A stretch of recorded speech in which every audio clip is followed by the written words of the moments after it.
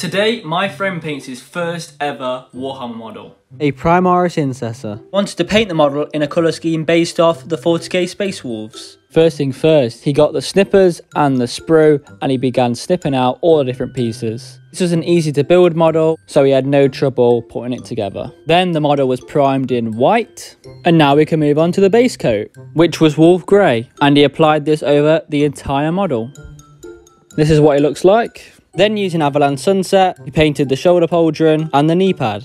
Then he picked out the gold parts with Retributor armour, like the chest plate. Then using Abaddon Black, he painted the gun and the joints in the armour.